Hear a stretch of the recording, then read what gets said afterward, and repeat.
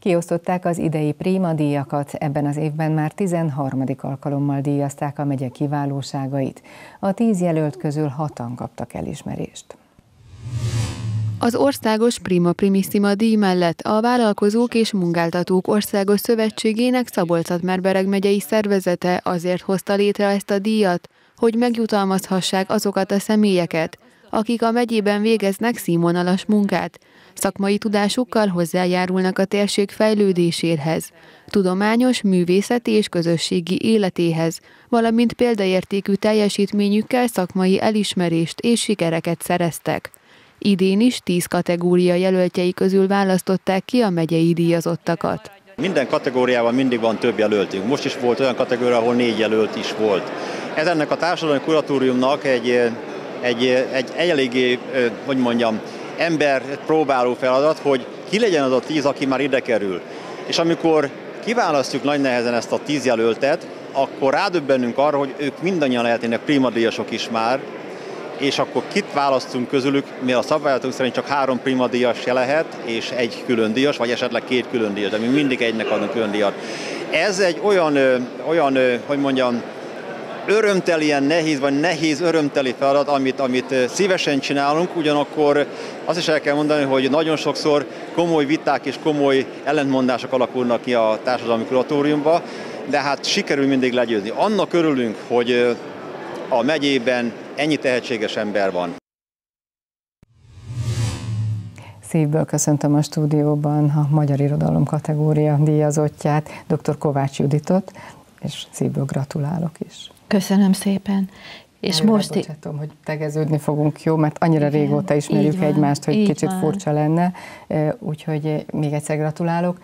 Köszönöm. És mindjárt az első kérdésem, hogy milyen életút vezet oda, hogy itt végül is egy gyönyörű elismerés lesz. Nem mondom, hogy a vége, hiszen szerintem nincs még vége. Reméljük, hogy még sok, legalább annyi áll előttem, mint ami a hátam mögött van. Nos, én 15 évig dolgoztam a megyei levéltárban levéltárosként, történészként, és amikor véget ért ez a munkám, akkor nem tudtam egyik napról leve, levetni magamról, nem szabadulhattam a múltól, ha így is fogalmazhat, ha fogalmazhatok így is, és elkezdtem életút interjúkat készíteni nagyon idős emberekkel. Szó szerint száz éves korig terjedt az életkoruk, 71 néhánytól száz évig és ők beszéltek nekem a 20. század nagy-nagy traumáiról, háborúról, kuláküldözésekről, és így tovább és ennek kapcsán olyan történeteket, olyan traumatikus történeteket hallottam, amelyeket levéltárosként, történészként, vagy egyáltalán hétköznapi emberként soha nem ismerhetünk meg, nem tanuljuk az iskolában, nincsenek dokumentálva, miközben pont a hétköznapi emberek élete adja ki a történelem egészét, ha így fogalmazhatok. Ahogy a nők megélték. Ahogy a nők megélték és ez a 20. század valóban olyan borzalmas volt, kollektív traumákkal terhelt, ha csak a háborúra gondolunk, vagy a háború után következő borzasztó Málenki robota húzolásokig, gulágig, ávóig, és így tovább, amelyeket közvetve ugyan, de a mai napig mi is cipelünk magunkkal ennek a terhét. Harmadik, negyedik generáció is nem élt még akkor, de biztos, hogy hatással van ránk. Mindig ünnepségeken mindig elhangzik, hogy nem szabad elfeledni a múlt borzalmait. Mégis azt lehet látni, hogy a mai manapság nem szívesen emlékeznek az emberek, nem szívesen foglalkoznak azzal, ami nem jó, nem szeretjük rosszul érezni magunkat. Mégis mennyire fogékonyak erre az emberek, hogy egy ilyen tartalmú és ennyire nehéz témájú könyvet a kezükbe vegyenek? Ez nagyon igaz, amit mondtál, és, de azt is mondhatjuk, hogy nem csak mint egyének vagy magánszemélyek, hanem kollektíve, és inkább a múltból azt szeretjük, ami dicső. És ami pedig nem annyira, azt eltoljuk magunktól, nem, akarunk tudomásul, nem akarjuk tudomásul venni. És amikor ezek a történetek megtaláltak engem, akkor gondolkodtam, hogy mi a feladatom ezzel. Ha egyetlen egyet elmondhatok nagyon röviden, akkor talán szemléltetni tudom a dilemmámat, ha úgy tetszik. A háború után az első regényem megtagadva címmel Nyíregyházán játszódik. És amit itt átéltek az emberek, az első légitámadásoktól egészen a nők megerőszakolásán át a Málenki robotra húzolásig tartalmazza. Nos, amikor elment a front, akkor elkezdték az orosz katonák Málenki robotra összeszedni az embereket. És az egyik férfinak elkapták a nagyfiát ő elment, hogy kiszabad, az orosz katonai parancsnokságra, hogy kiszabadítsa a fiát. Tudott beszélni or- velük oroszul, mert az első háborúban fogságban volt és megtanult. Azt mondták neki, elengedjük a fiadat, de tíz másikat állítasz helyére. Ez az ember két szovjet katonával járt házról házra, és ő mutatott rá arra tízre. A tízből senki nem tért haza. A 80-as években nagyon beteg volt ez az ember, és haldoklott, de nem bírt elmenni.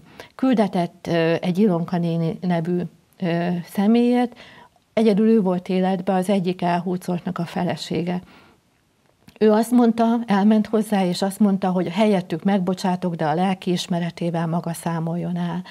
Amikor kijött a kapun, szaladtak utána, hogy meghalt ez az ember. És amikor ezt a történetet én hallottam, akkor nem hagyott nyugodni sokáig, hogy mit tennék én, mert ez az ember a fiát mentette, de tíz másikat a halálba küldött.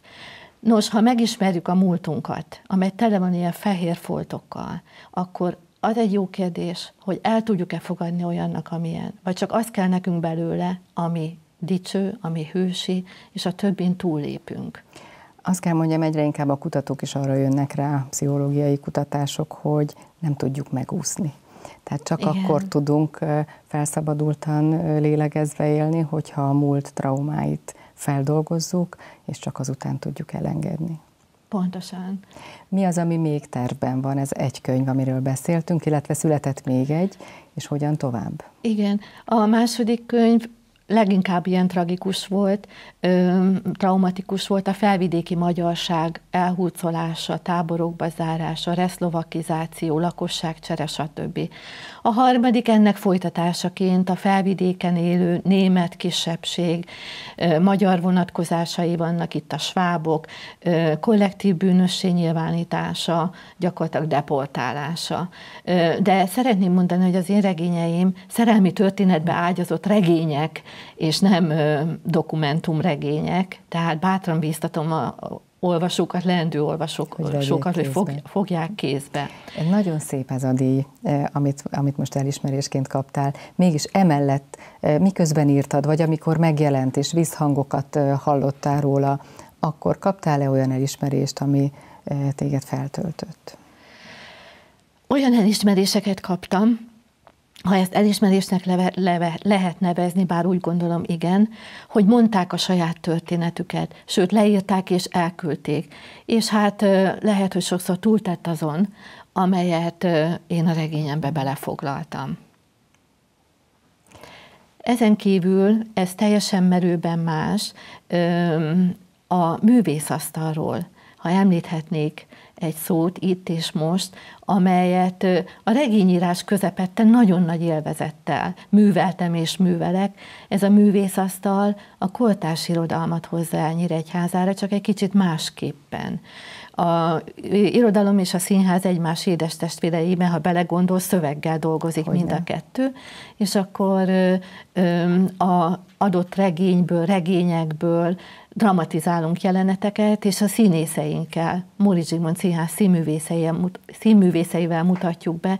Tehát és így szeretnénk megelevenednek azok a jelenetek, amik, az a, amit a, amik a regényben Pontosan. szerepelnek. És így szeretnénk egy kicsit kedvet csinálni az olvasáshoz, egy kicsit másképp kedvet hozni Milyen hozzá. a fogadtatása ezeknek a rendezvényeknek? Hát, nagy dicsekedve mondom, uh-huh. hogy teltházasak ezek a rendezvények, és egy közösségünk van, és nem akármilyen előadások ezek, hiszen próbák előzik meg, de egyetlen egy előadás van.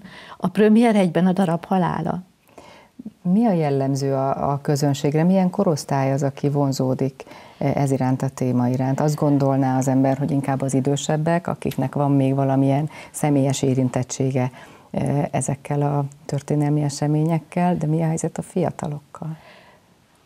Ez igaz, amit az előbb említettél, de pont a művészasztal esetében mondhatom, hogy diákok, az itteni gimnázium diákjai, vagy gimnáziumból diákok, főiskolai hallgatók, de még Tokajból is voltak diákcsoportjaink a művészasztalnál. Úgyhogy én bizakodó vagyok a traumatikus történeteim ellenére, én egy optimista ember vagyok. Innen látszik, hogy valódi felszabadító ereje van annak, hogyha tudunk beszélni ezekről a traumákról. Lesz-e következő Igen. regény? Igen, a következő regény finisében van, és a könyvfesztiválon jövő évben fog debütálni. Dr. Kovács Judit, szívből gratulálunk még egyszer, és köszönöm, köszönöm hogy bejöttél hozzánk. Köszönöm este. szépen én is.